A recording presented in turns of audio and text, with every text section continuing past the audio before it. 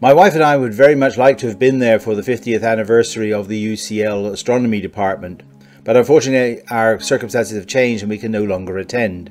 So I've recorded this video to show to the participants if you have time, in order to let them know what I would have said if I had been there. So this is going to be very much an autobiography of my career as affected by the years I spent at UCL. Carl Sagan once said, astronomy is a humbling and character building experience. Now, I've met a lot of astronomers in my time, and there's certainly a lot of characters involved, though not that many humble ones. One of the things that astronomy does do for you is give you a distinct feeling of insignificance in the universe, which is probably very good for our ego. We are tiny creatures living on a small planet that represents only 3 millionths of the mass of the solar system. The Sun is just one of about 400 billion stars in our galaxy, and there's estimated to be up to 2 trillion galaxies in the universe. Another thing is we deal with orders of magnitude, which tend to stretch the imagination. Sizes from subatomic particles to the entire universe. Timescales from picoseconds to 3.77 billion years, and that's just looking back over the history of the universe. We can project the lifetime of some stars forward 100 billion years. We deal with wavelengths from gamma rays to long wavelength radio, and even now gravity waves. And the neat thing is, if you study some of these things, you can sometimes find people who will pay you to do it. I had two basic ambitions when I was young and was unable to fulfill either of them, and that sometimes makes me feel sad even today. The first one was to become an artist. Now, in fact, I'd actually set my sights on coming here to the Slade School of Art, so I might have ended up at UCL, but just not in the astronomy department. The other one was to play cricket for England.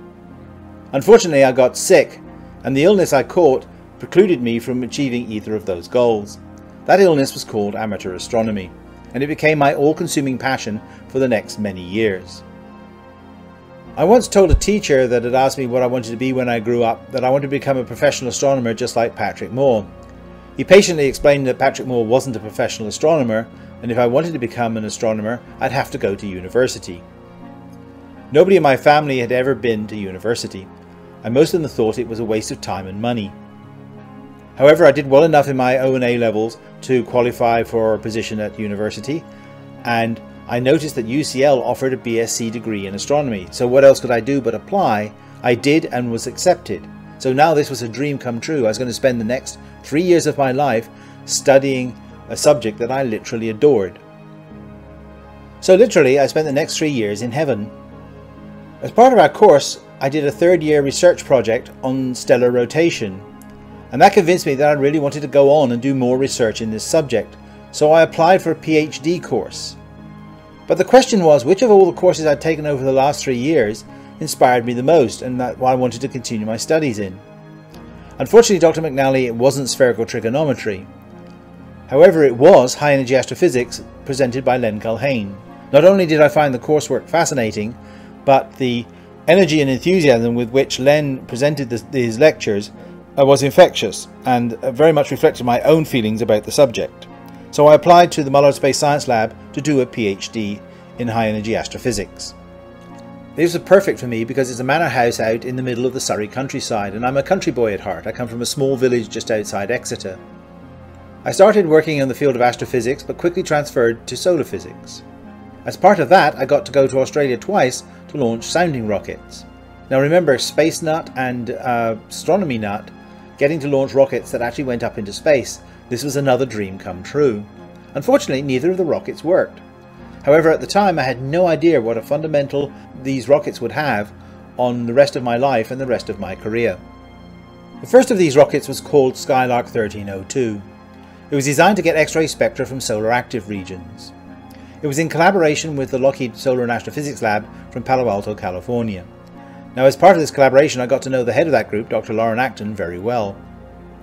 Now, the, the payload itself worked just fine. The problem came from the rocket, which didn't point at the sun, which is rather detrimental when you're trying to get solar data.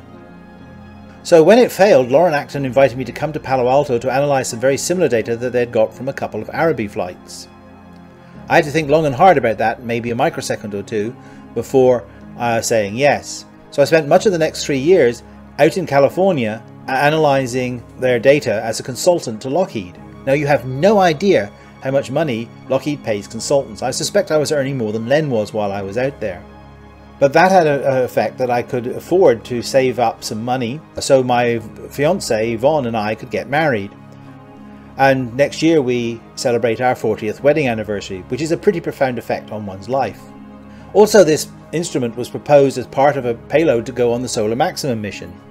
So now as part of a major on-orbit satellite uh, program. And that was very, very exciting indeed. The second rocket was called Skylark 1305. It was a UV spectrometer to measure helium coronal abundance, a very important number. But even though the, the payload worked just fine, the parachute failed to open, and when you drop your data from 120 miles up onto rocks in the Australian desert, you don't have a lot of data left to analyse. However, we proposed it as a prototype for Spacelab 2, which was a shuttle mission. And as part of that, they needed scientists to become payload specialists, i.e. scientists to become astronauts. So guess who volunteered? There were 1,200 applicants for the position, and I made it into the last 10. You can see my photograph at that interview in Huntsville, Alabama, uh, next to the shuttle. Uh, you might notice that fashions have somewhat changed in those last uh, 40 years. The medical exam in Houston did not go so well for me because I managed to break their strength machine, uh, which is somewhat ironic for somebody called Strong. And um, they had a test to see whether you would panic under stressful situations. And I was so bored with it, I actually fell asleep. So I was not selected, but Loren Acton was, which left a Loren Acton sized hole in his Solar Maximum mission team. But he had this consultant that he'd been working with for the last three years, so he hired me to work on the Solar Maximum mission, and this launched my career in the United States. Brief summary of my US career. In 1979, I became a data analyst on the Solar Maximum mission. By 1984, I was the principal investigator on the US part of the Solar Maximum Mission instrument that I talked about earlier. In 1989, I became the Solar uh, Coronal Group Leader at Lockheed's Solar and Astrophysics Lab. In 1995, I became a manager of the Lockheed Martin Solar and Astrophysics Lab.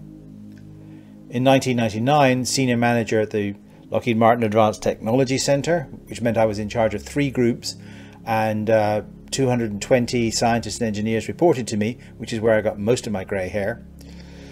In 2001, I became an acting director at Lockheed Martin Advanced Technology Center, and in 2009, I retired. And I do a lot of EPO work, education and public outreach work now, uh, talking to schools and astronomy clubs.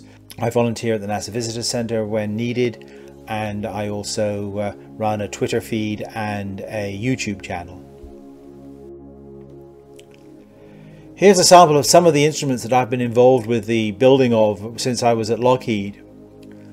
I'm very proud of this record uh, because pretty much any image of the sun you've seen in the last uh, 20 years was probably taken by one of our instruments. Now, the one instrument here that hasn't flown yet, and I'm looking very much forward to getting data from it, is the JWST NIRCam instrument. Of all the instruments we built, the one I'm most proud is not one that looks at the sun, nor one that looks at the stars, but one that looks down at the Earth. It's the GOES Lightning Mapper. I helped persuade NOAA to fly this instrument on the latest series of GOES spacecraft. And what it does is it images individual bursts of lightning from cloud to cloud and also from cloud to ground. So it takes images every one thousandth of a second to do that and the intensity of these strikes tells you uh, whether there's a danger of uh, a lightning storm a long time earlier than was ever possible before. The other day I was playing golf and I was called in by the uh, uh warning system on our golf course. And when I came in and looked at the images on the television, it was images from my instrument that was actually uh, causing the alarm to come. So this instrument is out there saving lives as we speak now. And that makes you feel particularly proud. Modern society is becoming more and more dependent on science and technology, but I fear less and less able to understand it. Thus, I think it's very important that universities put out as many people as possible with at least some background in science and preferably science degrees. Of those, I think astronomy degrees are very important because it gives you a unique perspective on the universe. It also is a subject that interests most of the public everybody's interested in stars and planets and galaxies and space travel and things of that sort.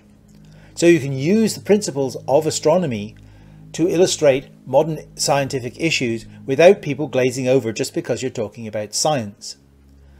So happy 50th anniversary UCL astronomy program. I wish to personally thank you for the long and stimulating career that I've had in science uh, that I can trace directly back to the years I spent here at UCL and hope that you continue to educate and enthuse future generations of young people into this marvelous uh, subject uh, for many, many generations to come.